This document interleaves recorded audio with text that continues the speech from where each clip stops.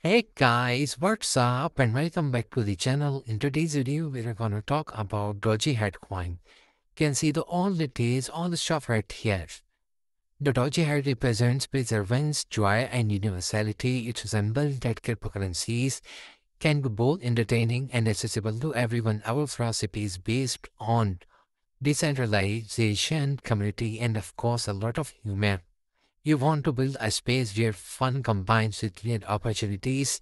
For our followers, you can check out all that stuff right here and see track on CoinGecko, the listed on CoinGecko live chart and check out the live chart. You can check out the market cap right here and all it is, it is fantastic. You can see the all the stuff. Roadmap phase one, the puppies, but phase two doji training. You see the alpha doji, phase four, the global tech. Can check out the white paper. Also, this is not a financial advice. This is not also, I'm not your financial advisor. This is not a financial advice. Please always do your own research.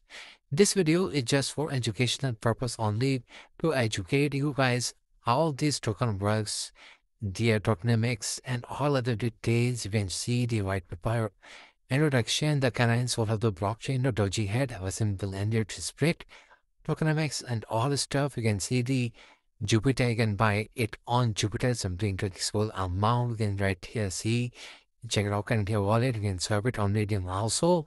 And check it out, all it is. You guys like my video, kindly subscribe to my YouTube channel and follow them on other decision media platforms like website, document, FindGecko, Telegram, Twitter. You can see Discord.